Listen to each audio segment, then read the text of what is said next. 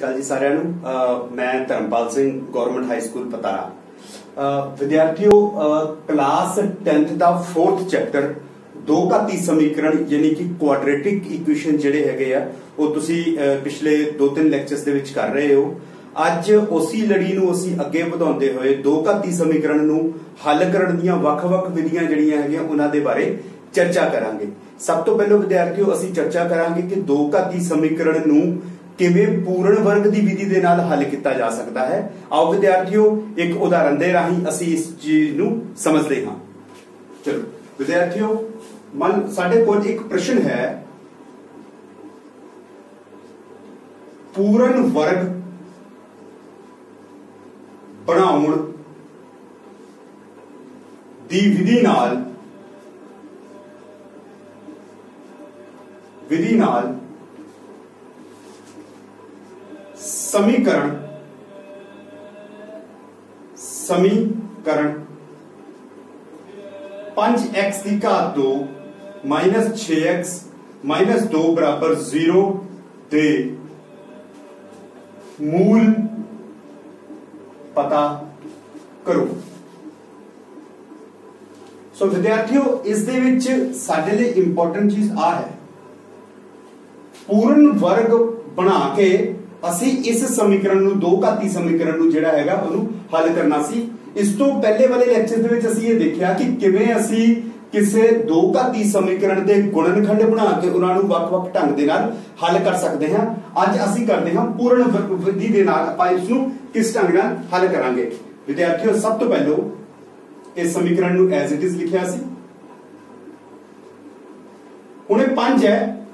ਇਸ 5 ਦਾ ਅਸੀਂ ਵਰਗ ਬਣਾਉਂਦੇ ਹਾਂ। ਵਰਗ ਕਿਵੇਂ ਬਣ ਸਕਦਾ ਹੈ? 5 ਦਾ ਵਰਗ ਹੈ 25 25 ਦੇ ਵਾਸਤੇ ਇਸ ਸਮੀਕਰਨ ਨੂੰ ਪੂਰੇ ਨੂੰ 5 ਦੇ ਨਾਲ ਗੁਣਾ ਕਰ ਦਿੰਦੇ ਹਾਂ। ਪੂਰੇ ਸਮੀਕਰਨ ਨੂੰ 5 ਦੇ ਨਾਲ ਗੁਣਾ ਕਰ ਦਿੱਤਾ। ਇਹ ਬਣ ਗਿਆ ਵਿਦਿਆਰਥੀਓ। 25x ਸਕੁਅਰ, ਦੇਖੋ 5 ਨੂੰ ਪਹਿਲਾਂ 5 ਨਾਲ ਗੁਣਾ ਕੀਤਾ। 25x ਸਕੁਅਰ ਮਾਈਨਸ 5 ਨੂੰ 6 ਦੇ ਨਾਲ ਗੁਣਾ ਕੀਤਾ। 30x 5 ਨੂੰ 2 ਦੇ ਨਾਲ ਗੁਣਾ ਕੀਤਾ। 10 ਬਰਾਬਰ 0 ਇਹ ਸਾਡੇ ਕੋਲ ਜੋ ਹੈ, ਸਾਡੇ ਕੋਲ ਇਸ ਸਮੀਕਰਨ ਦਾ ਬਦਲਵਾਂ ਰੂਪ ਜਿਹੜਾ ਹੈਗਾ ਉਹ ਇਹ ਆ ਗਿਆ। ਠੀਕ ਹੈ? ਵਿਦਿਆਰਥੀਓ, ਇੱਕ ਚੀਜ਼ ਦਾ ਖਿਆਲ ਰੱਖਣਾ ਕਿ ਇਹ ਜੋ ਪੂਰਨ ਵਰਗ ਦੀ ਵਿਧੀ ਹੈ, ਇਸ ਦੇ ਵਿੱਚ ਸਾਡੇ ਲਈ ਦੋ ਫਾਰਮੂਲੇ ਬਹੁਤ ਕਾਰਗਰ ਹਨ। ਠੀਕ ਹੈ ਜੀ? ਜਿਹੜੇ ਅਲਜਬਰੇ ਦੇ ਦੋ ਫਾਰਮੂਲੇ ਕਾਰਗਰ ਹਨ, ਉਹ ਹੈ, ਪਹਿਲਾ ਹੈ a b ਦੀ ਘਾਤ 2 ਬਰਾਬਰ ਹੈ a ਦੀ ਘਾਤ 2 ਜਮਾ 2ab ਜਮਾ b ਦੀ ਘਾਤ 2 ਤੇ ਦੂਸਰਾ ਹੈ, a b ਦੀ ਘਾਤ 2 ਬਰਾਬਰ ਹੈ a ਦੀ ਘਾਤ 2 2ab ਜਮਾ b ਦੀ ਘਾਤ 2 ਇਹ ਦੋ ਫਾਰਮੂਲੇ ਸਾਡੇ ਲਈ ਇੰਨੇ ਜ਼ਿਆਦਾ ਜ਼ਰੂਰੀ ਹਨ। ਕਿਉਂ ਜ਼ਰੂਰੀ ਹਨ? ਦੇਖੋ, ਨਾਮ ਦੇ ਨਾਲ ਹੀ ਪਤਾ ਲੱਗ ਜਾਂਦਾ ਹੈ। ਪੂਰਨ ਵਰਗ, ਇੱਥੇ ਪੂਰਨ ਵਰਗ ਬਣਿਆ ਹੋਇਆ। ਇਸ ਦਾ ਮਤਲਬ ਇਹ ਹੈ ਕਿ ਇਹ ਵਾਲੀ ਚੀਜ਼ ਜੇਕਰ ਮੈਂ ਇਸ ਸਮੀਕਰਨ ਨੂੰ ਇਹਨਾਂ ਦੇ ਵਿੱਚ ਬਦਲ ਦਵਾਂ, ਤਾਂ ਮੇਰੇ ਕੋਲ ਇੱਕ ਪੂਰਨ ਵਰਗ ਜਿਹੜਾ ਹੈ ਇੱਥੇ ਆ ਜਾਏਗਾ। ਠੀਕ ਹੈ, ਵਿਦਿਆਰਥੀਓ? ਚਲੋ, ਮੈਂ ਸਭ ਤੋਂ ਪਹਿਲਾਂ ਕੀ ਕੀਤਾ, ਵਿਦਿਆਰਥੀਓ? 5x ਦੀ ਘਾਤ 2 6x 2 0 ਦੇ ਵਿੱਚ ਜੋ x ਦੇ ਦਾ ਕੋਫੀਸ਼ੀਐਂਟ ਮੇਰੇ ਕੋਲ ਨਾਲ ਸੀ, ਜੋ x ਦੇ ਨਾਲ ਮੇਰੇ ਕੋਲ ਇੱਕ ਅਚਲ ਸੰਖਿਆ ਸੀ, ਉਹ ਹੈ 5 5 ਨੂੰ ਮੈਂ ਵਰਗ ਬਣਾਤਾ 5 ਨੂੰ 5 ਨਾਲ ਗੁਣਾ ਕੀਤਾ, ਤੇ ਮੇਰੇ ਕੋਲ ਕੀ ਆ ਗਿਆ ਵਿਦਿਆਰਥੀਓ?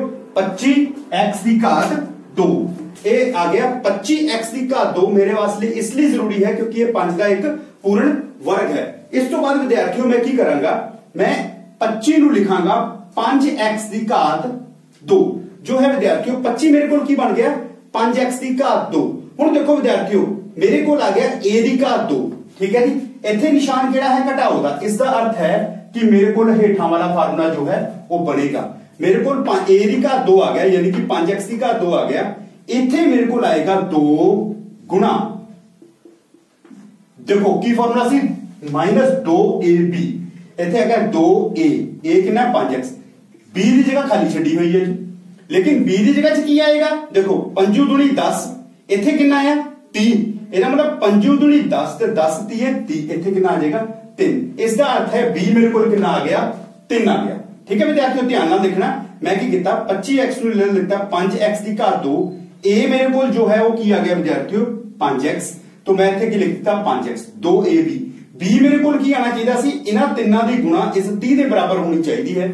ਮੇਰੇ ਕੋਲ ਹੈ 5 2 5 ਦੂਣੀ 10 10 ਨੂੰ ਕਿੰਨੇ ਨਾਲ ਗੁਣਾ ਕਰੀਏ ਕਿ 30 ਬਣੇ? 10 ਨੂੰ 3 ਨਾਲ ਗੁਣਾ ਕੀਤਾ ਤਾਂ 30 ਬਣ ਗਿਆ। 10 30 30 ਇਹ ਮੇਰੇ ਕੋਲ ਆ ਗਿਆ ਜੀ 30 ਹੁਣ ਮੈਂ ਕੀ ਕਰਾਂਗਾ? ਜਮਾ। ਫਿਰ ਮੇਰੇ ਕੋਲ ਕੀ ਹੈ ਜੀ? b ਦੀ ਘਾਤ 2 ਹੁਣ b ਕਿੰਨਾ ਆ ਗਿਆ ਜੀ ਮੇਰੇ ਕੋਲ? 9 9 9 ਆ ਗਿਆ ਨਾ b 3 ਆ ਗਿਆ ਨਾ? ਤੇ ਇਹਦਾ ਮਤਲਬ 3 ਦੀ ਘਾਤ 2 ਇੱਥੇ ਮੈਂ ਐਡ ਕਰ ਦਾਂਗਾ। ਤੇ ਜਿਹੜਾ ਇਹ ਫਾਰਮੂਲਾ ਇਹ ਪੂਰੀ ਲਾਈਨ ਜਿਹੜੀ ਹੈ ਮੇਰੇ ਕੋਲ ਕੀ ਬਣ ਗਈ? A ਦੀ ਘਾਤ 2 2ab b ਦੀ ਘਾਤ 2 ਲੇਕਿਨ ਮੈਥਮੈਟਿਕਸ ਦਾ ਇੱਕ ਰੂਲ ਹੈ ਕਿ ਮੈਂ ਕਿਸੇ ਵੀ ਚੀਜ਼ ਨੂੰ ਆਪਣੇ ਵੱਲੋਂ ਜੋੜ ਨਹੀਂ ਕਰ ਸਕਦਾ ਠੀਕ ਹੈ ਜੀ ਆਪਣੇ ਵੱਲੋਂ ਜੋੜ ਘਟਾਓ ਨਹੀਂ ਕਰ ਸਕਦਾ ਜੇਕਰ ਮੈਂ ਕੋਈ ਚੀਜ਼ ਇੱਥੇ ਜੋੜੀ ਹੈ ਤਾਂ ਨਾਲ ਦੇ ਨਾਲ ਉਸ ਨੂੰ ਇੱਥੋਂ ਘਟਾ ਵੀ ਦਵਾਂਗਾ ਤਾਂ ਜੋ ਮੇਰਾ ਸਮੀਕਰਨ ਜਿਹੜਾ ਹੈਗਾ ਉਹ ਪੂਰਨਤਾ ਬੈਲੈਂਸ ਰਵੇ ਯਾਨੀ ਕਿ ਉਸ ਦੇ ਵਿੱਚ ਕੋਈ ਫ਼ਰਕ ਨਾ ਪਵੇ ਜੇਕਰ ਮੈਂ ਕੋਈ ਚੀਜ਼ ਜੋੜੀ ਹੈ ਉਨੀ ਹੀ ਚੀਜ਼ ਨੂੰ ਘਟਾ ਦਵਾਂ ਤਾਂ ਮੇਰੇ ਸਮੀਕਰਨ ਦੇ ਵਿੱਚ ਕੋਈ ਫ਼ਰਕ ਨਹੀਂ ਪਏਗਾ ਫਿਰ ਮੇਰੇ ਕੋਲ ਕੀ ਆ ਗਿਆ ਵਿਦਿਆਰਥੀਓ ਇੱਥੇ ਆ ਗਿਆ ਮੇਰੇ ਕੋਲ ਘਟਾਓ ਦਾ 10 ਬਰਾਬਰ 0 ਠੀਕ ਹੈ ਵਿਦਿਆਰਥੀਓ ਇਹ ਮੇਰੇ ਕੋਲ ਵਿਦਿਆਰਥੀਓ ਬਣ ਗਿਆ a ਘਟਾਓ b ਦੀ ਘਾਤ 3 ਦੇਖੋ a ਦੀ ਘਾਤ 2 ਸੌਰੀ 2 ਹੈ ਵਿਦਿਆਰਥੀਓ a ਦੀ ਘਾਤ 2 ਜਮਾ b ਦੀ ਘਾਤ 2 ਜਮਾ 2ab ਇਹ ਬਣ ਗਿਆ a ਘਟਾਓ b, a ਘਟਾਓ b ਦੀ ਘਾਤ 2 ਯਾਨੀ ਕਿ ਇਸ ਫਾਰਮੂਲੇ ਦੇ ਨਾਲ ਇਹ ਬਣ ਗਿਆ a b ਦਾ ਹੋਲ ਸਕੁਅਰ ਠੀਕ ਹੈ ਜੀ ਇਧਰ ਵਿਦਿਆਰਥੀਓ ਕਿੰਨਾ ਬਣ ਗਿਆ -3 3 ਦਾ 9 10 ਇਕੁਅਲ ਟੂ 0 ਠੀਕ ਹੈ ਵਿਦਿਆਰਥੀਓ, ਇਸ ਦੇ ਵਿੱਚ ਅਸੀਂ ਇਹਨੂੰ ਕੀ ਕਰ ਸਕਦੇ ਹਾਂ? 5x 3 ਦੀ ਘਾਤ 2 ਠੀਕ ਹੈ ਮਾਈਨਸ 19 ਬਰਾਬਰ 0 ਠੀਕ ਹੈ ਜੀ, ਇਹ ਚੀਜ਼ ਆਪਣੇ ਕੋਲ ਆ ਗਈ। ਠੀਕ ਹੈ, ਇਸ ਚੀਜ਼ ਨੂੰ ਅੱਗੇ ਵਧਾਉਂਦੇ ਹੋਏ ਆਪਾਂ ਲੈ ਕੇ ਚੱਲਦੇ ਹਾਂ ਇੱਧਰ। ਇਧਰ ਹੈ ਵਿਦਿਆਰਥੀਓ, ਇਹਨੂੰ ਇਧਰਲੇ ਪਾਸੇ ਲੈ ਚੱਲਦੇ ਹਾਂ। ਇਹ ਬਣ ਗਿਆ ਮੇਰੇ ਕੋਲ 5x 3 ਦੀ ਘਾਤ 2 ਮਾਈਨਸ ਕੀ ਮੈਂ 19 ਨੂੰ ਵਰਗਮੂਲ 19 ਦੀ ਘਾਤ 2 ਲਿਖ ਸਕਦਾ ਕਿ ਨਹੀਂ ਲਿਖ ਸਕਦਾ? ਇਹ ਜਵਾਬ ਤੁਸੀਂ ਆਪਣੇ ਆਪ ਦੇ ਨਾਲ ਸੋਚੋ। ਦੇਖੋ ਵਰਗਮੂਲ ਤੇ ਵਰਗ ਇੱਕ ਦੂਜੇ ਨਾਲ ਕੈਨਸਲ ਹੋ ਕੇ ਇਕੱਲਾ ਕੀ ਬਣੇਗਾ? 19 ਬਣੇਗਾ। ਇਸ ਕਰਕੇ 19 ਨੂੰ ਮੈਂ ਕੀ ਲਿਖ ਸਕਦਾ ਹਾਂ? ਵਰਗਮੂਲ 19 ਦੀ ਘਾਤ 2 ਜਿਹੜੀ ਹੈਗੀ ਉਹ ਲਿਖ ਦਿੱਤਾ। ਇੱਥੇ ਇੱਕ ਅਲਜਬਰੇ ਦਾ ਹੋਰ ਇੱਕ ਫਾਰਮੂਲਾ ਜਿਹੜਾ ਹੈਗਾ ਉਹ ਆ ਗਿਆ। ਉਹ ਕਿਹੜਾ ਫਾਰਮੂਲਾ ਸੀ? ਆਪ ਜੀ ਨੂੰ ਯਾਦ ਹੋਏਗਾ। ਉਹ ਫਾਰਮੂਲਾ ਹੁੰਦਾ a ਦੀ ਘਾਤ 2 b ਦੀ ਘਾਤ 2 ਬਰਾਬਰ ਹੁੰਦਾ a b ਗੁਣਾ a b ਇਹ ਫਾਰਮੂਲਾ ਵੀ ਆਪ ਜੀ ਨੂੰ ਯਾਦ ਹੋਏਗਾ। ਹੁਣ ਇਸ ਚੀਜ਼ ਦੇ ਨਾਲ ਇਹਨੂੰ ਫਾਰਮੂਲਾ ਲਗਾਈਏ। ਇਹ ਪੂਰਾ ਬਣ ਗਿਆ a ਇਹ ਬਣ ਗਿਆ b a ਦੀ ਘਾਤ 2 ਘਟਾਓ b ਦੀ ਘਾਤ 2 ਇਹ ਬਣ ਗਿਆ ਵਿਦਿਆਰਥੀਓ a ਜਮਾ b ਗੁਣਾ a ਮਾਈਨਸ b ਬਰਾਬਰ 0 ਠੀਕ ਹੈ ਵਿਦਿਆਰਥੀਓ? ਹੁਣ ਇਸ ਦੇ ਵਿੱਚ, ਇਸ ਤੋਂ ਅੱਗੇ ਜਿਹੜਾ ਹੈਗਾ, ਆਪਾਂ ਬਾਰੀ-ਬਾਰੀ ਚੱਲ ਸਕਦੇ ਹਾਂ। ਸਭ ਤੋਂ ਪਹਿਲਾਂ ਅਸੀਂ ਗੁਣਨਖੰਡ ਦੇ ਵਿੱਚ ਵੀ ਜਿਹੜੀ ਆਪਾਂ ਗੁਣਨਖੰਡ ਦੀ ਵਿਧੀ ਦੇਖੀ ਸੀ ਉਸ ਦੇ ਵਿੱਚ ਵੀ ਆਪਾਂ ਇਹ ਚੀਜ਼ ਦੇਖੀ ਸੀ ਕਿ ਜੇਕਰ ਦੋ ਵੱਖਰੇ ਵੱਖਰੇ ਗੁਣਨਖੰਡ ਸਿਫਰ ਦੇ ਬਰਾਬਰ ਹੁੰਦੇ ਹਨ, ਜਾਂ ਤਾਂ ਆ ਸਿਫਰ ਦੇ ਬਰਾਬਰ ਹੋਏਗਾ ਜਾਂ ਤਾਂ ਆ ਸਿਫਰ ਦੇ ਬਰਾਬਰ ਹੋਏਗਾ। ਠੀਕ ਹੈ ਵਿਦਿਆਰਥੀ ਤਾਂ ਉਸੇ ਚੀਜ਼ ਨੂੰ ਜਿਹੜਾ ਹੈਗਾ, ਆਪਾਂ ਅੱਗੇ ਚਲਾਉਂਦੇ ਹੋਏ ਇੱਧਰ ਲਿਖਦੇ ਹਾਂ ਇਹਨਾਂ ਨੂੰ। ਸਾਡੇ ਕੋਲ ਆਏਗਾ ਜੀ, ਜਾਂ ਤਾਂ 5x 3 ਵਰਗਮੂਲ 19 ਇਹ 0 ਦੇ ਬਰਾਬਰ ਆ ਜਾਏਗਾ, ਜਾਂ ਫਿਰ ਮੇਰੇ ਕੋਲ ਆ ਜਾਏਗਾ 5x ਘਟਾਓ 3 ਮਾਈਨਸ ਇਹ ਬਰਾਬਰ 0 ਇਸ ਦਾ ਮਤਲਬ ਹੈ 5x ਬਰਾਬਰ ਹੈ ਘਟਾਓ 19 ਵਰਗਮੂਲ ਜਮਾ 3 ਵਰਗਮੂਲ 19 ਜਮਾ 3 ਤੇ x ਦੀ ਕੀਮਤ ਮੇਰੇ ਕੋਲ ਆ ਜਾਏਗੀ ਘਟਾਓ 19 ਵਰਗਮੂਲ 19 ਜਮਾ 3 ਬਟਾ 5 ਜਾਂ ਫਿਰ ਮੇਰੇ ਕੋਲ ਆਏਗੀ 5x ਬਰਾਬਰ ਵਰਗਮੂਲ 19 ਜਮਾ 3 x ਬਰਾਬਰ ਵਰਗਮੂਲ 19 ਜਮਾ 3 ਬਟਾ 5 ਦੋ ਘਾਤੀ ਸਮੀਕਰਨ ਦੇ ਦੋ ਹੱਲ ਹਨ ਦੋ ਹੱਲ ਹੁੰਦੇ ਹਨ ਦੋ ਘਾਤੀ ਸਮੀਕਰਨ ਦੇ ਕਿਸੇ ਵੀ ਦੋ ਘਾਤੀ ਸਮੀਕਰਨ ਦੇ ਦੋ ਹੱਲ ਹੁੰਦੇ ਹਨ ਤੇ ਉਹ ਦੋ ਦੇ ਦੋ ਹੱਲ ਜਿਹੜੇ ਹੈ ਉਹ ਸਾਡੇ ਸਾਹਮਣੇ ਇੱਥੇ ਪਏ ਹੋਏ ਨੇ ਸੋ ਇਸ ਦਾ ਇਸ ਦਾ ਅਰਥ ਇਹ ਹੋਇਆ ਵਿਦਿਆਰਥੀਓ ਪੂਰਨ ਵਰਗ ਜਿਹੜਾ ਹੈ ਉਹ ਜ਼ਰੂਰੀ ਨਹੀਂ ਹੈ ਕਿ ਦੇਖੋ ਗੁਣਨਖੰਡ ਵਾਲਾ ਜਿਹੜਾ ਇੱਕ ਆਪਾਂ ਪ੍ਰਸ਼ਨ ਕੀਤਾ ਸੀ ਉਸ ਦੀ ਕੁਝ ਖਾਸ ਕਮੀਆਂ ਸਨ। ਉਸ ਦੀ ਕਮੀਆਂ ਇਹ ਸਨ ਕਿ ਕਈ ਵਾਰ ਸਮੀਕਰਨ ਇਸ ਢੰਗ ਦਾ ਆ ਜਾਂਦਾ ਹੈ ਕਿ ਭਈ ਉਸ ਸਮੀਕਰਨ ਦੇ ਗੁਣਨਖੰਡ ਨਹੀਂ ਬਣਦੇ। ਸੋ ਉਸ ਹਾਲਤ ਦੇ ਵਿੱਚ ਅਸੀਂ ਜੇਕਰ ਪੂਰਨ ਵਰਗ ਦੀ ਵਿਧੀ ਲਗਾਵਾਂਗੇ, ਤਾਂ ਮੇਰੇ ਖਿਆਲ ਨਾਲ ਉਹ ਉਸ ਤੋਂ ਆਸਾਨ ਜਿਸ ਵਿੱਚ ਉਹ ਫਾਰਮੂਲਾ ਨਹੀਂ ਲੱਗ ਸਕਦਾ ਹੈ, ਉਹ ਗੁਣਨਖੰਡ ਨਹੀਂ ਬਣ ਸਕਦੇ ਹਨ ਉਸ ਨੂੰ ਆਪਾਂ ਇਸ ਢੰਗ ਦੇ ਨਾਲ ਜਿਹੜਾ ਹੈ, ਉਹ ਕਰ ਸਕਦੇ ਹਾਂ। ਅਸੀਂ ਇਸ ਇੱਕ ਹੋਰ ਸਵਾਲ ਦੱਸਦੇ ਹਾਂ ਤੇ ਉਸ ਦੇ ਵਿੱਚ ਮੈਂ ਕੋਸ਼ਿਸ਼ ਕਰਾਂਗਾ ਕਿ ਇਸ ਤੋਂ ਥੋੜਾ ਜਿਹਾ ਵੱਖਰਾ ਜਿਹੜਾ ਹੈਗਾ ਉਹ ਤਰੀਕਾ ਅਪਣਾ ਕੇ ਦੇਖੀਏ, ਠੀਕ ਹੈ? ਜਿਵੇਂ ਇਸ ਸਵਾਲ ਦੇ ਵਿੱਚ ਅਸੀਂ ਕੀ ਕੀਤਾ ਸੀ? 5x ਦੀ ਘਾਤ 2 ਨੂੰ 5 ਨੂੰ ਵਰਗ ਬਣਾਉਣ ਦੇ ਲਈ ਮੈਂ ਪੂਰੇ ਸਮੀਕਰਨ ਨੂੰ 5 ਦੇ ਨਾਲ ਗੁਣਾ ਕਰ ਦਿੱਤਾ ਸੀ, ਠੀਕ ਹੈ ਜੀ? ਹੁਣ ਅਗਲਾ ਇੱਕ ਹੋਰ ਇਦਾਂ ਦਾ ਤਰੀਕਾ ਦੇਖਦੇ ਹਾਂ, ਉਸ ਦੇ ਵਿੱਚ ਦੇਖਦੇ ਹਾਂ ਅਸੀਂ ਕੀ ਕਰ ਸਕਦੇ ਹਾਂ, ਠੀਕ ਹੈ? ਚਲੋ, ਆਓ ਵਿਦਿਆਰਥੀਓ, ਅਸੀਂ ਆਪਣੇ ਦੂਸਰੇ ਪ੍ਰਸ਼ਨ ਵੱਲ ਚੱਲੀਏ ਤੇ ਮੈਂ ਉਮੀਦ ਕਰਦਾ ਹਾਂ ਕਿ ਜਿਹੜਾ ਦੂਸਰਾ ਪ੍ਰਸ਼ਨ ਹੈ ਉਹਨਾਂ ਦੋਨਾਂ ਦੇ ਵਿੱਚੋਂ ਜੋ ਮੈਂ ਦੂਸਰਾ ਪ੍ਰਸ਼ਨ ਤੁਹਾਨੂੰ ਕਰਾਵਾਂਗਾ ਉਸ ਦਾ ਦੋਨਾਂ ਦੇ ਵਿੱਚੋਂ ਤੁਹਾਨੂੰ ਜਿਹੜਾ ਪ੍ਰਸ਼ਨ ਜਿਹੜਾ ਹੈ ਉਹ ਵਧੀਆ ਲੱਗੇ ਤਰੀਕਾ, ਤੁਸੀਂ ਉਸ ਨੂੰ ਉਸ ਦੇ ਨਾਲ ਦੇ ਨਾਲ ਢੰਗ ਦੇ ਨਾਲ ਕਰ ਸਕਦੇ ਹੋ। ਠੀਕ ਹੈ? ਚਲੋ, ਸਵਾਲ ਉਹੀ ਹੈ ਜੀ ਆਪਣੇ ਕੋਲ ਫਿਰ, ਪੂਰਨ ਵਰਗ ਬਣਾਓ ਦੀ ਵਿਧੀ ਨਾਲ ਸਮੀਕਰਨ 4x ਦੀ ਘਾਤ 2 ਜਮਾ 3x ਜਮਾ 5 ਬਰਾਬਰ 0 ਦੇ ਮੂਲ ਪਤਾ ਕਰੋ। ਠੀਕ ਹੈ ਜੀ? ਇਸ ਦੇ ਵਿੱਚ ਸਿੱਧਾ ਸਵਾਲ ਇਹ ਨਹੀਂ ਹੈ ਕਿ ਪੂਰਨ ਵਰਗ ਦੀ ਵਿਧੀ ਦੇ ਨਾਲ ਇਸ ਦੇ ਮੂਲ ਪਤਾ ਕਰੋ, ਠੀਕ ਹੈ? ਅਸਲ ਦੇ ਵਿੱਚ ਤੇ ਕਲਾਸ 10ਵੀਂ ਦੇ ਵਿੱਚ ਅਸੀਂ ਕੇਵਲ ਵਾਸਤਵਿਕ ਸੰਖਿਆਵਾਂ ਦੇ ਨਾਲ ਜਿਹੜਾ ਹੈ ਰੂਬਰੂ ਹੁੰਦੇ ਹਾਂ। ਸੋ ਇਸ ਕਰਕੇ ਜੇਕਰ ਇਸ ਦੇ ਵਿੱਚ ਇਹ ਲਿਖ ਦਿੱਤਾ ਜਾਵੇ ਕਿ ਪੂਰਨ ਵਰਗ ਬਣਾਉਣ ਦੀ ਵਿਧੀ ਨਾਲ ਸਮੀਕਰਨ ਦੇ ਇੱਥੇ ਇੱਕ ਸ਼ਬਦ ਵਾਸਤਵਿਕ ਵਾਸਤਵਿਕ ਮੂਲ ਪਤਾ ਕਰੋ ਵੀ ਆ ਜਾਵੇ ਤਾਂ ਮੇਰੇ ਖਿਆਲ ਨਾਲ ਉਹ ਵੀ ਗਲਤ ਨਹੀਂ ਹੋਏਗਾ ਉਹ ਵੀ ਆਪਣੇ ਆਪ ਦੇ ਵਿੱਚ ਬਿਲਕੁਲ ਸਹੀ ਹੋਵੇਗਾ। ਠੀਕ ਹੈ ਜੀ? ਚਲੋ, ਆਓ ਵਿਦਿਆਰਥੀਓ, ਅਸੀਂ ਦੇਖਦੇ ਹਾਂ ਕਿ ਇਸ ਨੂੰ ਕਿਸ ਢੰਗ ਨਾਲ ਕਰਨਾ ਹੈ। ਇਸ ਤੋਂ ਪਿਛਲੇ ਸਵਾਲ ਦੇ ਵਿੱਚ ਅਸੀਂ ਇਹ ਦੇਖਿਆ ਸੀ ਕਿ ਭਈ ਸਾਡੇ ਕੋਲ ਜੋ x ਦਾ ਗੁਣਾਕ ਹੈ ਉਸ ਨੂੰ ਅਸੀਂ ਵਰਗ ਬਣਾਉਣਾ ਹੁੰਦਾ ਸੀ। ਇਸ ਦੇ ਵਿੱਚ ਪਹਿਲਾਂ ਹੀ ਵਰਗ ਬਣਿਆ ਹੋਇਆ, ਲੇਕਿਨ ਮੈਂ ਇਸ ਨੂੰ ਉਸ ਢੰਗ ਦੇ ਨਾਲ ਨਹੀਂ ਕਰਵਾ ਰਿਹਾ ਹਾਂ। ਇਸ ਸਵਾਲ ਨੂੰ ਮੈਂ ਕੀ ਕਰ, ਕਿਸ ਢੰਗ ਨਾਲ ਕਰਾਵਾਂਗਾ? ਉਸ ਸਵਾਲ ਦੇ ਵਿੱਚ ਮੈਂ ਕੀ ਕੀਤਾ ਸੀ ਕਿ ਜੋ ਵੀ x ਦਾ ਗੁਣਾਂਕ ਹੁੰਦਾ ਹੈ, ਉਸ ਦਾ ਵਰਗ ਬਣਾ ਲੈਂਦਾ ਸੀ। ਇਸ ਸਵਾਲ ਦੇ ਵਿੱਚ ਮੈਂ ਕੀ ਕਰਾਂਗਾ? ਜੋ ਵੀ x ਦੀ ਘਾਤ 2 ਦਾ ਗੁਣਾਕ ਹੋਵੇਗਾ, ਉਸ ਨੂੰ ਮੈਂ 1 ਬਣਾਉਣਾ ਹੈ। 1 ਕਿਵੇਂ ਬਣੇਗਾ? ਇਸ ਪੂਰੇ ਸਮੀਕਰਨ ਨੂੰ 4 ਦੇ ਨਾਲ ਭਾਗ ਕਰ ਦੋ ਪੂਰੇ ਸਮੀਕਰਨ ਨੂੰ ਕਿਵੇਂ ਕਰਨਾ ਹੈ? ਇਸ ਨੂੰ 4 ਦੇ ਨਾਲ ਭਾਗ ਕੀਤਾ ਤਾਂ ਇੱਥੇ ਇਕੱਲਾ 4 ਲੱਗਿਆ ਗਿਆ। 3 ਨੂੰ 4 ਦੇ ਨਾਲ ਭਾਗ ਕਰਾਂਗੇ ਤਾਂ ਇਹ ਬਣ ਜਾਏਗਾ 3/4x ਜਮਾ। 5 ਨੂੰ 4 ਦੇ ਨਾਲ ਭਾਗ ਕਰਾਂਗੇ ਤਾਂ ਇਹ ਬਣ ਜਾਏਗਾ 5/4 ਬਰਾਬਰ 0 ਦੇਖੋ, ਇਹ ਦੋਵੇਂ ਪਿਛਲਾ ਸਵਾਲ ਤੇ ਇਹ ਸਵਾਲ, ਇਹ ਦੋਵੇਂ ਥੋੜੇ ਜਿਹਾ ਵੱਖਰੇ ਵੱਖਰੇ ਨੇ। ਪਿਛਲੇ ਸਵਾਲ ਦੇ ਵਿੱਚ ਮੈਂ ਕੀ ਕੀਤਾ ਸੀ? ਮੈਂ x ਦੀ ਘਾਤ 2 ਜੇ x ਦੀ ਘਾਤ 2 ਦਾ ਗੁਣਾਕ ਜੋ ਸੀ ਉਸ ਨੂੰ ਵਰਗ ਬਣਾਉਣਾ ਸੀ ਪੂਰਾ ਵਰਗ ਬਣਾਉਣਾ ਸੀ। ਤੁਸੀਂ ਉਹ ਵੀ ਇਸਤੇਮਾਲ ਕਰ ਸਕਦੇ ਹੋ? ਜਾਂ ਫਿਰ ਇੱਕ ਹੋਰ ਵਿਧੀ ਮੈਂ ਤੁਹਾਨੂੰ ਦੂਸਰੇ ਸਵਾਲ ਦੇ ਵਿੱਚ ਇੱਕ ਦੂਸਰੀ ਵਿਧੀ ਦੱਸ ਰਿਹਾ ਕਿ ਜੇਕਰ x ਦੀ ਘਾਤ 2 ਦਾ ਗੁਣਾਕ ਮੈਂ 1 ਕਰ ਦਵਾਂ, ਇੱਕ ਕਿਵੇਂ ਕਰ ਸਕਦਾ ਹਾਂ? ਮੈਂ ਇਸ 4 ਦੇ ਨਾਲ ਪੂਰੇ ਸਮੀਕਰਨ ਨੂੰ ਭਾਗ ਕਰ ਦਵਾਂ ਤਾਂ ਇੱਥੇ ਇਕੱਲਾ 1 ਰਹਿ ਜਾਏਗਾ।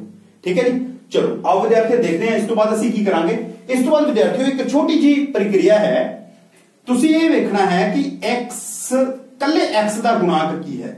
ਕੱਲੇ x ਦਾ ਗੁਣਾਕ ਹੈ 3/4 ਠੀਕ ਹੈ ਵਿਦਿਆਰਥੀਓ? ਕੱਲੇ x ਦਾ ਗੁਣਾਕ ਸਾਡੇ ਕੋਲ ਕਿੰਨਾ ਹੈ? 3/4 ਤੁਸੀਂ ਇਸ 3/4 ਦਾ ਹਾਫ ਕਰ ਲਓ, ਅੱਧਾ ਕਰ ਲਓ। ਅੱਧਾ ਕਰਨ ਤੋਂ ਭਾਵ ਹੈ ਇਸ 3/4 ਨੂੰ 2 ਦੇ ਨਾਲ ਕੀ ਕਰ ਦਿੱਤਾ ਜਾਵੇ? ਗੁਣਾ ਕਰ ਦਿੱਤਾ ਜਾਵੇ। ਤਾਂ ਵਿਦਿਆਰਥੀਓ, ਇਹ ਕਿੰਨਾ ਬਣ ਗਿਆ? 3/8 ਇਹ ਸੰਖਿਆ ਮੇਰੇ ਕੋਲ ਬਣ ਗਈ। ਹੁਣ ਉਸ ਸਵਾਲ ਦੇ ਵਿੱਚ, ਜੋ ਇਸ ਤੋਂ ਪਹਿਲਾਂ ਸਵਾਲ ਮੈਂ ਕੀਤਾ ਸੀ, ਉਸ ਸਵਾਲ ਦੇ ਵਿੱਚ ਜੋ x ਦਾ ਗੁਣਾਂਕ ਹੁੰਦਾ ਸੀ, ਉਸ ਨੂੰ ਮੈਂ 2ab ਦੇ ਹਿਸਾਬ ਦੇ ਨਾਲ ਕਰਦਾ ਸੀ। ਲੇਕਿਨ ਇਸ ਸਵਾਲ ਦੇ ਵਿੱਚ ਜੋ x ਦਾ ਗੁਣਾਂਕ ਇੱਥੇ ਹੈ, ਉਸ ਨੂੰ ਮੈਂ ਪਹਿਲਾਂ x ਦਾ ਗੁਣਾਂਕ ਲਿਖਿਆ 3/4 ਉਸ ਨੂੰ ਮੈਂ ਹਾਫ ਯਾਨੀ ਕਿ 1/2 ਦੇ ਨਾਲ ਗੁਣਾ ਕਰ ਦਿੱਤੀ ਤਾਂ ਉਹ ਬਣ ਗਿਆ 3/8 ਤੇ ਮੈਂ ਆਪਣਾ ਸਮੀਕਰਨ ਲਿਖਾਂਗਾ x ਦੀ ਘਾਤ 2 ਜਮਾ 3/4x ਜਮਾ 3/8 ਦੀ ਘਾਤ 2 ਯਾਨੀ ਕਿ ਇਹ ਮੇਰੇ ਕੋਲ ਕੀ ਬਣ ਗਿਆ b ਬਣ ਗਿਆ ਇਹ ਮੇਰੇ ਕੋਲ a ਸੀ ਇਹ ਮੇਰੇ ਕੋਲ b ਇਹ 2ab ਆ ਗਿਆ ਠੀਕ ਹੈ ਵਿਦਿਆਰਥੀਓ ਸੋ ਇਹਦੇ ਵਿੱਚ ਵੀ 3/8 ਦੀ ਘਾਤ 2 ਨੂੰ ਮੈਂ ਜੇ ਜੋੜਿਆ ਹੈ ਤਾਂ ਇੱਥੇ 3/8 ਦੀ ਘਾਤ 2 ਨੂੰ ਮੈਂ ਘਟਾਵਾਂਗਾ ਵੀ ਇਹਦੇ ਵਿੱਚੋਂ, ਕਿਉਂਕਿ ਅਸੀਂ ਪਿਛਲੇ ਸਵਾਲ ਦੇ ਵਿੱਚ ਵੀ ਜ਼ਿਕਰ ਕੀਤਾ ਹੈ ਕਿ ਕਿਸੇ ਵੀ ਚੀਜ਼ ਨੂੰ ਕਿਸੇ ਸਮੀਕਰਨ ਦੇ ਵਿੱਚ ਸਿੱਧੇ ਤੌਰ ਤੇ ਨਹੀਂ ਜੋੜਿਆ ਜਾ ਸਕਦਾ। ਜੇਕਰ ਉਸ ਨੂੰ ਜੋੜਿਆ ਹੈ ਤਾਂ ਉਸ ਨੂੰ ਬੈਲੈਂਸ ਕਰਨ ਲਈ ਉਸ ਨੂੰ ਘਟਾਉਣਾ ਵੀ ਪਏਗਾ। ਠੀਕ ਹੈ ਜੀ? ਤੇ ਇਸ ਨੂੰ ਨਾਲ ਹੀ ਘਟਾ ਦਿੱਤਾ। ਤੇ ਉਸ ਤੋਂ ਬਾਅਦ ਆਪਾਂ ਕਰ ਦਿੱਤਾ ਜਮਾ 5/4 ਬਰਾਬਰ ਸਿਫਰ ਜੋ ਹੈ, ਉਹ ਮੇਰੇ ਕੋਲ ਇੱਥੇ ਆ ਗਿਆ। ਠੀਕ ਹੈ ਵਿਦਿਆਰਥੀਓ? ਇਹਦੇ ਵਿੱਚ ਫਿਰ ਆਪਾਂ ਇੱਕ ਵਾਰ ਦੇਖਦੇ ਹਾਂ, ਸਭ ਤੋਂ ਪਹਿਲਾ ਕੰਮ ਅਸੀਂ ਕੀ ਕੀਤਾ? ਸਾਡੇ ਕੋਲ ਸਮੀਕਰਨ ਦਿੱਤਾ ਹੈ 4x ਦੀ ਘਾਤ 2 3x 5 ਬਰਾਬਰ x ਦੇ ਗੁਣਾਂਕ ਨੂੰ ਮੈਂ ਪੂਰੇ ਸਮੀਕਰਨ ਦੇ ਨਾਲ ਭਾਗ ਕਰ ਦਿੱਤਾ ਕੱਲੇ ਕੱਲੇ ਹਿੱਸੇ ਨੂੰ ਦੇਖਦੇ ਹਾਂ। ਸਭ ਤੋਂ ਪਹਿਲਾਂ 4x ਦੀ ਘਾਤ 2 ਨੂੰ 4 ਨਾਲ ਭਾਗ ਕੀਤਾ ਕੱਲਾ 1 ਰਹਿ ਗਿਆ, ਇਹਦਾ ਮਤਲਬ ਇੱਥੇ ਕੱਲਾ ਕਿੰਨਾ ਰਹਿ ਗਿਆ? x ਦੀ ਘਾਤ 2 ਰਹਿ ਗਿਆ। ਠੀਕ ਹੈ ਜੀ? ਦੂਸਰੇ ਕੇਸ ਦੇ ਵਿੱਚ ਮੈਂ 3 ਨੂੰ 4 ਦੇ ਨਾਲ ਭਾਗ ਕੀਤਾ ਤਾਂ 3/4 x ਆ ਗਿਆ ਤੇ ਤੀਸਰੇ ਦੇ ਵਿੱਚ 5 ਨੂੰ 4 ਨਾਲ ਭਾਗ ਕੀਤਾ ਤਾਂ ਮੇਰੇ ਕੋਲ ਕਿੰਨਾ ਆ ਗਿਆ? 5 4 ਜੋ ਹੈ ਉਹ ਮੇਰੇ ਕੋਲ ਆ ਗਿਆ। ਠੀਕ ਹੈ ਜੀ? ਚਲੋ, ਅੱਗੇ ਚੱਲਦੇ ਹਾਂ ਵਿਦਿਆਰਥੀਓ। ਇਸ ਤੋਂ ਬਾਅਦ ਅਸੀਂ ਕੀ ਕੀਤਾ? ਇਹਦੇ ਵਿੱਚ ਮੈਂ x ਦਾ ਗੁਣਾਂਕ ਦੇਖਿਆ 3/4 ਹੈ। X ਦਾ ਗੁਣਾਂਕ 3/4 ਨੂੰ ਦਾ ਅੱਧਾ ਕਰਨਾ ਹੈ ਮੈਂ ਹਾਫ ਕਰਨਾ ਹੈ। ਹਾਫ ਕਰਨ ਦਾ ਮਤਲਬ ਇਹ ਹੁੰਦਾ ਕਿ 3/4 ਨੂੰ ਮੈਂ 1/2 ਦੇ ਨਾਲ ਗੁਣਾ ਕਰ ਦਿੱਤੀ ਹੈ। ਜੇਕਰ ਮੈਂ 3/4 ਨੂੰ 1/2 ਦੇ ਨਾਲ ਗੁਣਾ ਕਰਾਂਗਾ ਤਾਂ 3 3 4 2 8 ਇਹ ਆ ਜਾਏਗਾ 3/8 ਤੇ ਇਹ 3/8 ਮੇਰਾ ਕੀ ਫਾਇਦਾ ਕਰਾਏਗਾ?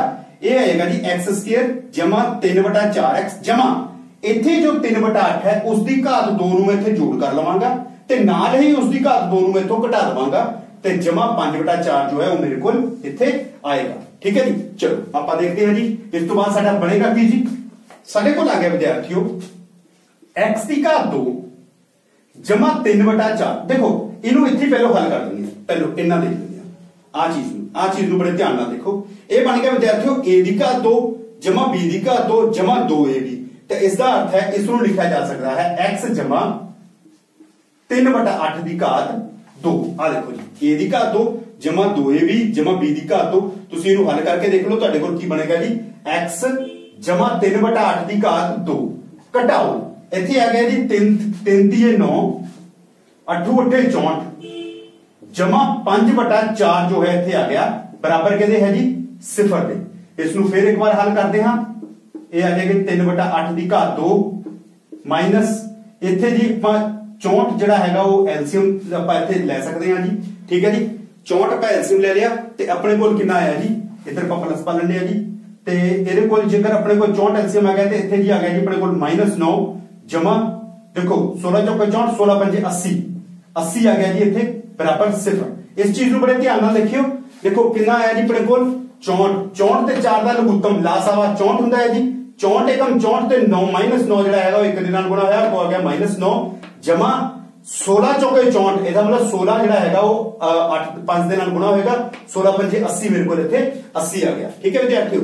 ਉਸ ਤੋਂ ਬਾਅਦ ਮੇਰੇ ਕੋਲ ਆ ਗਿਆ, x ਜਮਾ 3 8 ਦੀ ਘਾਤ 2 ਜਮਾ।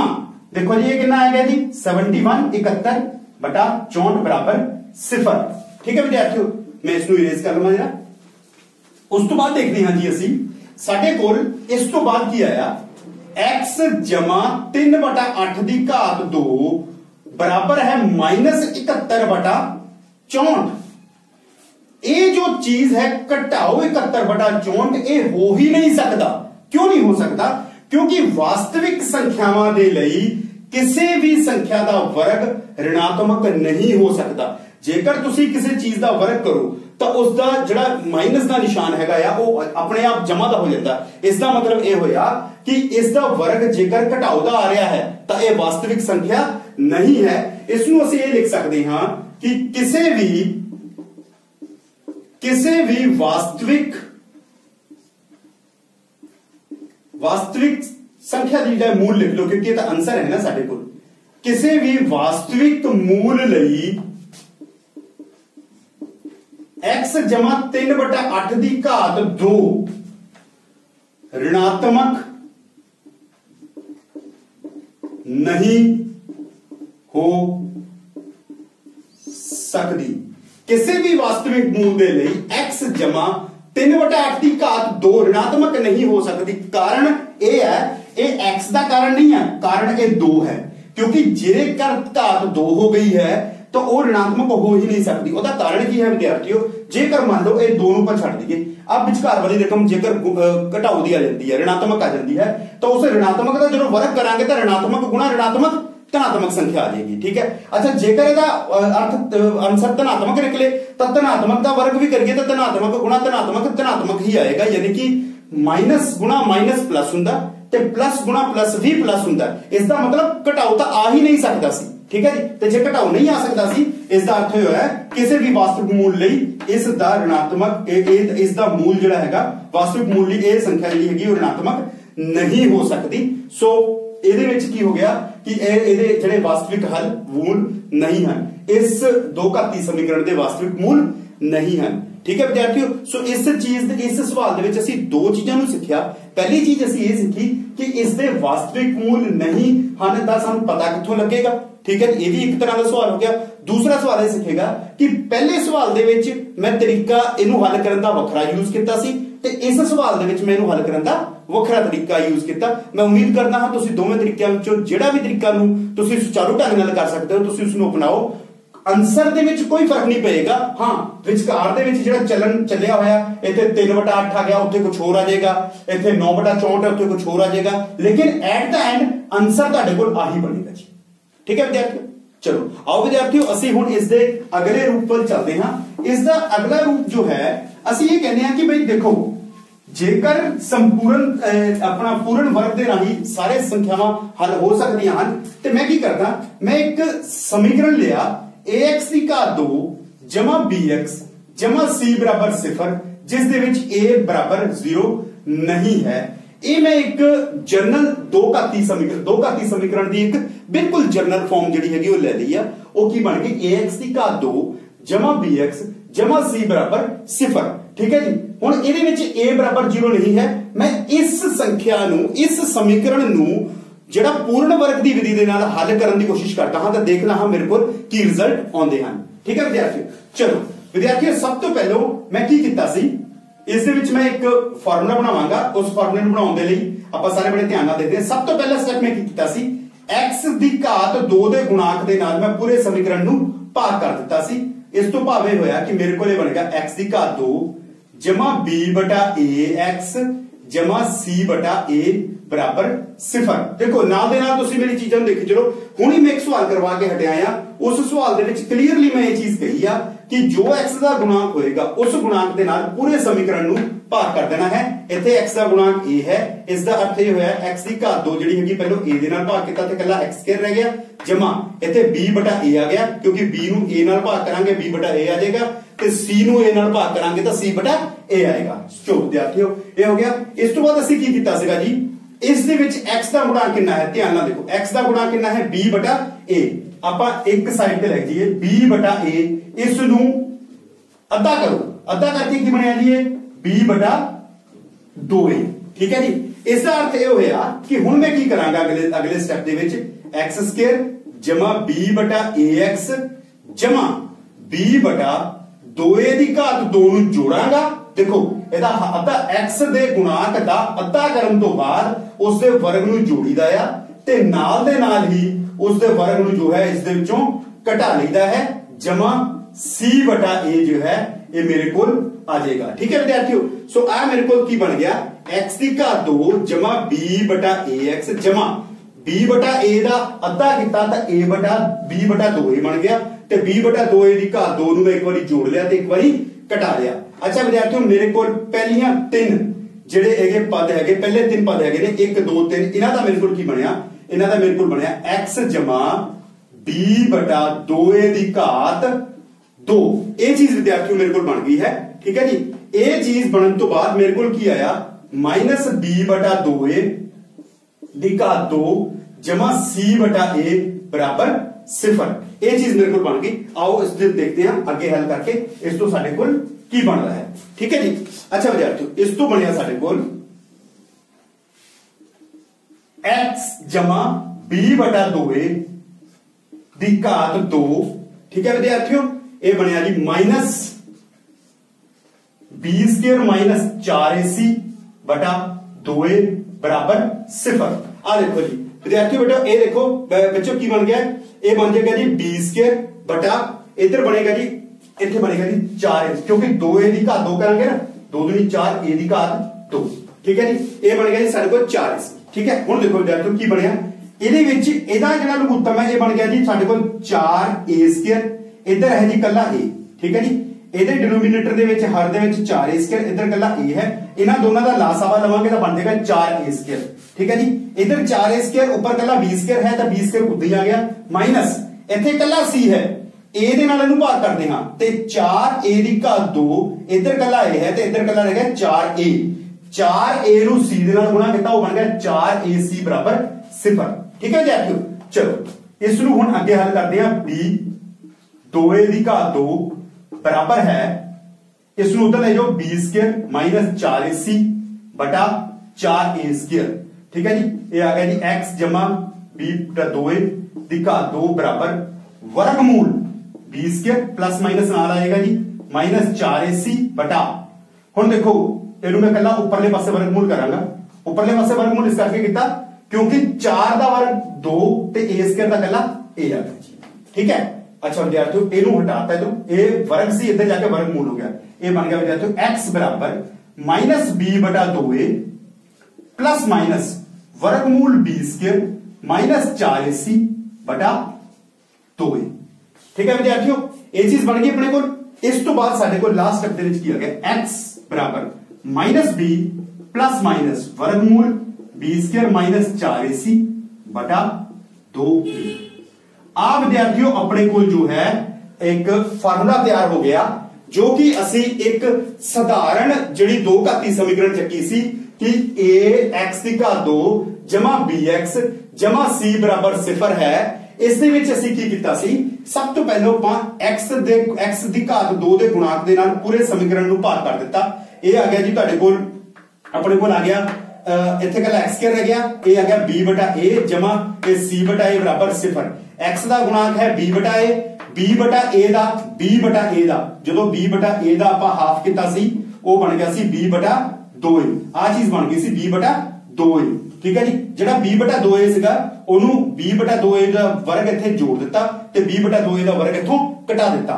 ਸੋ ਪਹਿਲੇ ਤਿੰਨ ਪਦ ਸੀਗੇ, ਉਹ ਬਣ ਗਏ ਸਾਡੇ ਕੋਲ x b a ਦੀ ਘਾਤ 2 ਕਿਉਂਕਿ ਇੱਥੇ ਫਾਰਮੂਲਾ ਬਣਦਾ ਹੈ a a b ਦੇ whole square a b square a b square 2ab ਉਹ ਬਣ ਗਿਆ, ਇਹਨਾਂ ਨੂੰ ਐਜ਼ ਇਟ ਇਜ਼ ਇਦਾਂ ਲਿਖ ਲਿਆ। ਉਸ ਤੋਂ ਬਾਅਦ ਇਹਨਾਂ ਦੋਨਾਂ ਨੂੰ ਆਪਾਂ ਹੱਲ ਕੀਤਾ, ਇਹ ਸਾਡੇ ਕੋਲ ਬਣਿਆ 4a ਸਕੁਅਰ ਉੱਪਰ ਆਇਆ ਜੀ b ਸਕੁਅਰ 4ac ਸਿਫਰ ਉਸ ਤੋਂ ਬਾਅਦ ਇਹ ਘਟਾਓ ਵਾਲੀ ਸੰਖਿਆ ਹੈ 0 ਦੇ ਦੂਜੇ ਪਾਸੇ ਜਾਏਗੀ ਤਾਂ ਧਨਾਤਮਕ ਬਣ ਜਾਏਗੀ ਇਹ ਬਣ ਗਿਆ b square 4ac over 4a square ਇੱਧਰ ਵਰਗ ਸੀ ਵਰਗ ਦਾ ਕਰ ਦਿੱਤਾ ਵਰਗਮੂਲ 4 ਦਾ ਵਰਗ 2 a ਦੀ ਘਾਤ 2 ਦਾ ਵਰਗ a ਤੇ ਉੱਪਰ ਵਾਲਾ ਜਿਹੜਾ ਸੀਗਾ ਉਹਦਾ ਕੋਈ ਨਹੀਂ ਸੀ ਉਹ ਬਣ ਗਿਆ b ਸਕੁਅਰ 4ac ਤੇ ਕਿਉਂਕਿ ਵਰਗ ਉਧਰ ਜਾ ਕੇ ਵਰਗ ਮੂਲ ਬਣਿਆ ਇਸ ਕਰਕੇ ਪਲੱਸ ਮਾਈਨਸ ਸਾਡੇ ਕੋਲ ਨਾਲ ਆ ਗਏ ਠੀਕ ਹੈ ਉਸ ਤੋਂ ਬਾਅਦ b ਬਟਾਏ a ਇਧਰ ਜਮਾ ਦਾ ਸੀ ਦੂਜੇ ਪਾਸੇ ਲੈ ਕੇ ਗਏ ਤਾਂ ਘਟਾਓ ਦਾ ਹੋ ਗਿਆ ਤੇ ਉਸ ਤੋਂ ਬਾਅਦ ਆਪਾਂ ਇਹਨਾਂ ਦਾ ਸਾਂਝਾ ਰੂਪ ਦੇਖੋ ਇੱਧਰ ਵੀ 2 ਹੈ ਇੱਧਰ ਵੀ 2 ਹੈ ਲਘੁੱਤਮ 2a ਆ ਗਿਆ ਤੇ ਉੱਪਰ ਵਾਲੀਆਂ ਰਕਮਾਂ ਕੀ ਹੋਣੀਆਂ x ਬਰਾਬਰ -b ਪਲੱਸ ਮਾਈਨਸ ਵਰਗਮੂਲ b ਸਕੁਅਰ 4ac ਬਟਾ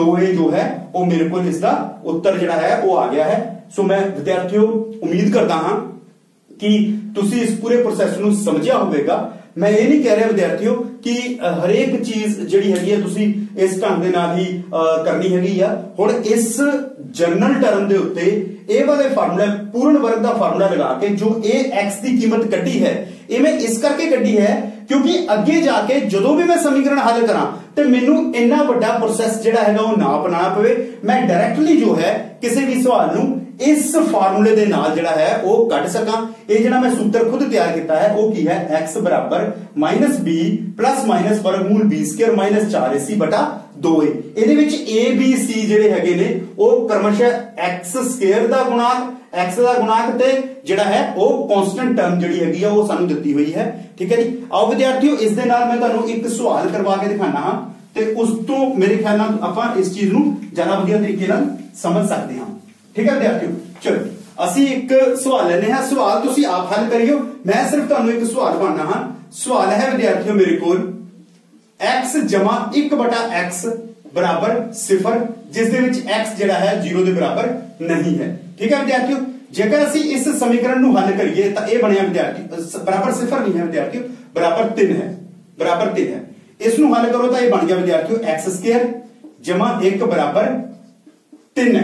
ਬਰਾਬਰ 3x ਇਹ ਬਣਿਆ x2 3x 1 ਬਰਾਬਰ 0 ਆ ਮੇਰੇ ਕੋਲ ਇੱਕ ਦੋ ਘਾਤੀ ਸਮੀਕਰਨ ਬਣ ਗਿਆ ਸਵਾਲ ਇੱਥੇ ਸੀਗਾ ਜੀ ਇਹ ਕੁਐਸਚਨ ਹੈ ਜੀ ਸਵਾਲ ਇਹ ਸੀਗਾ ਇਸ ਨੂੰ ਥੋੜਾ ਹੱਲ ਕੀਤਾ ਮੈਂ ਇਹ ਬਣ ਗਿਆ x ਦੀ ਘਾਤ 2 1 ਤੇ ਆ x ਇੱਧਰ ਚੱਲ ਜਾਏਗਾ 3x ਫਿਰ 3x ਨੂੰ ਇੱਧਰਲੇ ਪਾਸੇ ਲੈ ਆਇਆ ਇਹ ਬਣ ਗਿਆ x2 3x 1 ਬਰਾਬਰ 0 ਠੀਕ ਹੈ ਜੀ ਇਸ ਦੇ ਵਿੱਚ ਆਪਾਂ ਕੱਲੇ x ਨੂੰ 1 x ਲਿਖ ਸਕਦੇ ਹਾਂ ਇਹਦੇ ਵਿੱਚ ਮੇਰੇ ਕੋਲ a ਬਰਾਬਰ ਆ ਗਿਆ 1 b ਬਰਾਬਰ ਆ ਗਿਆ -3 ਤੇ c ਬਰਾਬਰ ਆ ਗਿਆ ਮੇਰੇ ਕੋਲ 1 ਠੀਕ ਹੈ ਜੀ?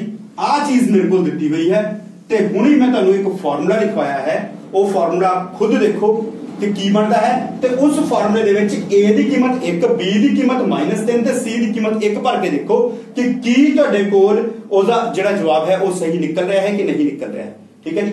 ਚਲੋ, ਵਿਦਿਆਰਥੀਓ, ਇਹੀ ਸਵਾਲ ਨੂੰ ਤੇ ਇਸ ਤਰ੍ਹਾਂ ਦੇ ਹੋਰ ਸਵਾਲਾਂ ਨੂੰ ਵੀ ਅਗਲੇ ਲੈਕਚਰ ਦੇ ਵਿੱਚ ਮੈਂ ਲੈ ਕੇ ਆਵਾਂਗਾ ਤੇ ਇਸ ਚੀਜ਼ ਨੂੰ ਕੰਟੀਨਿਊ ਕਰਾਂਗਾ। ਠੀਕ ਹੈ ਜੀ? ਤਦ ਤੱਕ ਮੈਂ ਉਮੀਦ ਕਰਾਂਗਾ ਕਿ ਤੁਸੀਂ ਇਹਨਾਂ ਸਾਰੀਆਂ ਚੀਜ਼ਾਂ ਦੀ ਦੁਹਰਾਈ ਕਰੋਗੇ।